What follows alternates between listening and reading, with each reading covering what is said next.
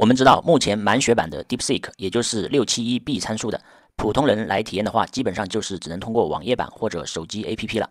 但是因为服务资源紧张，目前经常是多问几句就死机了，要么就是只能在本地部署真流版的，也就是所谓的阉割版。这个速度倒是可以，但是普通人的电脑最多部署一个八 B 参数的，无法体验到 DeepSeek 带来的震撼。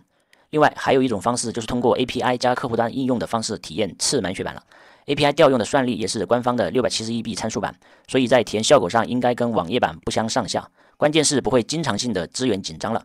另外，最近 DeepSeek 的 API 平台服务在成功抵御住了某国国家级的网络攻击后，终于再次开放了，但仍因服务器资源紧张，目前已暂停 API 服务的新充值。但是对于原来就已经充值的用户，还能正常提供算力支持。而对于新用户而言，虽然不能充值，但仍然有官方赠送的十元，大概五百万 token 的免费额度。用来体验一番是完全没有问题的，所以今天我带大家来体验一下，通过 DeepSeek API 将 DeepSeek 的服务置入沉浸式翻译插件中，看看效果相较于其他大模型怎么样。另外，还通过一款免费的 Office 办公软件插件，将 DeepSeek 内置在 Word 或者是 Excel 或者是 PPT 中，这样是否能为我们提供更高效的服务呢？一起来看看。好，我们现在进入这个 DeepSeek 的首页了，然后在首页的右上角有一个 API 开放平台。我们点击进入这个 API 开放平台，我现在是已经注册好并且登录的状态。大家如果没有注册的话，可以注册一个。这边首先映入眼帘的是我们的这个 API 的用量信息，它会给我们的这个新用户赠送十元的这个额度。然后我们点击这个 API Keys，在这里创建一个 API Key。这个我们后面的一些这个 AI 应用。在使用的时候会调用到这个 DeepSeek 的算力，就是通过这个 API Key 来调用的。弄完之后，它就会生成一个 API Key。呃，这边要提醒大家的一点就是说，这个 API Key 创建完之后，你就需要立马复制出来，否则你点完确定之后，它这里是隐藏的状态，你再要去复制这个 API Key 的话就不行了，只能把它删除掉，重新生成一个新的 API Key 了。好，这个就是 DeepSeek 的 API Key 的一个获取的方式，然后。这个里面的这个免费额度十块钱，如果用完了之后呢，你可以进行一个充值。但是现在这个充值功能，因为现在用的人特别多，然后充值是暂停了。但是原来充进去有余额的这些用户还是可以继续调用的，只是说新增的充值是现在不让充值了，因为现在这个使用的人群太多，然后暂停充值了。然后你可以去看这里的充值账单和赠送账单。好，这是。API Key 的一个获取。好，我们现在进入了这个沉浸式翻译的一个。我们点开谷歌浏览器，这个谷歌浏览器既可以访问谷歌扩展商店去安装这个沉浸式翻译，也可以直接下载这个谷歌浏览器的这个插件安装包啊。安装好之后，我们在这里登录之后，点设置，然后定位到翻译服务，然后定位到这个 DeepSeek 大模型这里。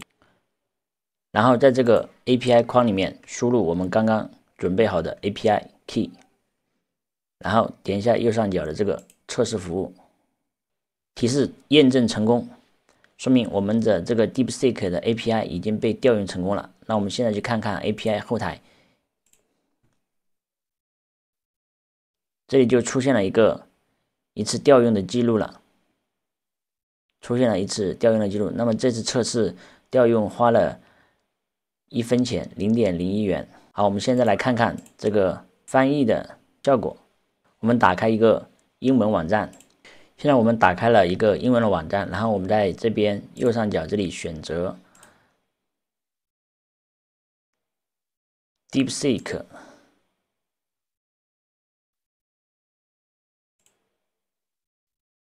点击设为默认，然后这里就出现了。DeepSeek 这个模型作为支持的翻译服务，这里还还可以定义角色。我们这里选一个新闻媒体者，然后点翻译，它就开始了它的翻译了。现在这个 API 因为调用的人非常多，所以可能会有点慢。然后它这边的这个翻译的结果慢慢的都出现来了。我们打开一篇文章，它这个很快速的就翻译出来了。这是用。DeepSeek 的 API 为这个翻译进行一个服务的案例。在 Office 办公套件里面去直接置入 DeepSeek AI 大模型的话，我们需要用到这一个 Office AI 助手这个软件。这个软件目前是免费的啊，我们可以把它下载下来，直接通过官方下载。下载完之后呢，就可以啊进行一个安装了。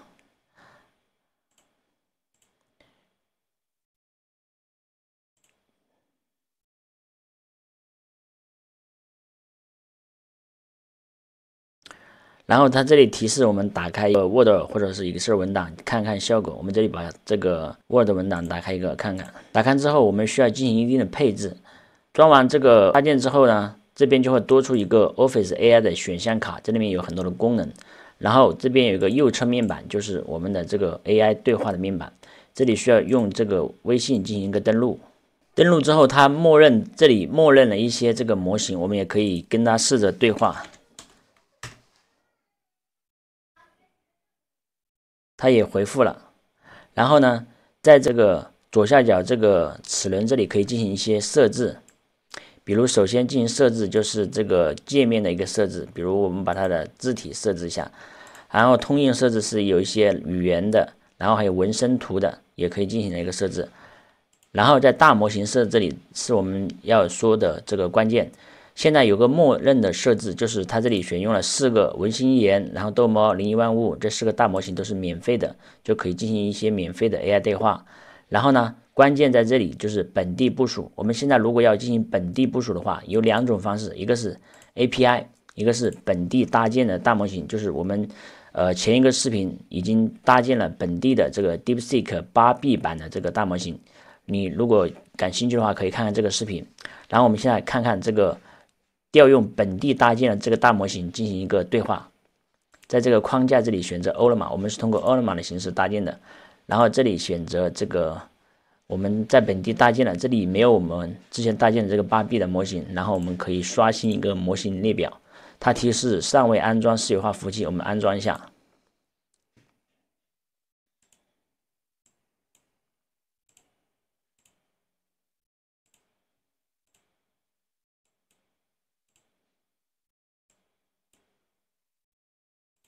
啊，安装完之后，我们再来刷新这个列表模型列表，刷新成功。然后现在就出现了这个呃 DeepSeek R1 八 B 版，就是我们之前在本地通过 o l a m a 的形式搭建的这个本地大模型。选中它，然后点击保存，保存成功。然后我们再来进行一个对话，问一下它：你好。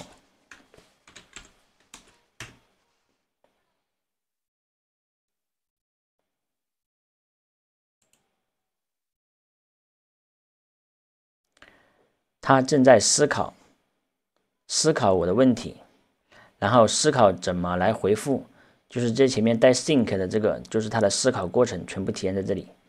然后他的回复出来了：“你好，很高兴为你提供帮助，请告诉我你需要什么样的支持或信息，我会尽力帮你解答或提供参考资料。”啊，我再问一下，你是谁？他又在思考，然后把这个思考过程也列示在这里了。他说：“我是一个 AI 助手，由深度球手公司开发，专注于通过思考来提供帮助。问一下你的知识截止时间和大模型版本是？”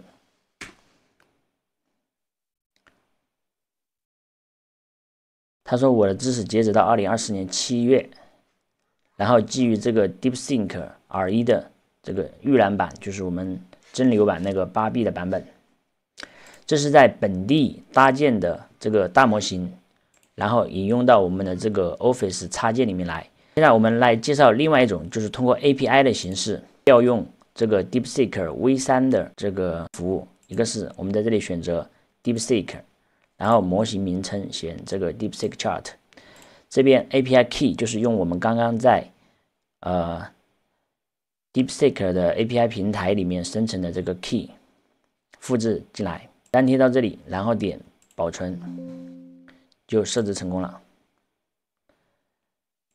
然后我们现在又来问一下，你是谁？这个时候发现上面的这个呃问题他还留着，因为他说用户再次询问你是谁，请你评价一下你自己，用尽量刻薄的语言。他很快就说出来，好吧，既然你要求刻薄，那我就勉强。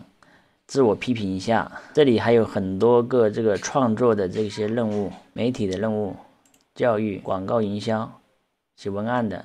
好，这就是在 Office 套件里面安装这个 DeepSeek 调用的这么一个功能。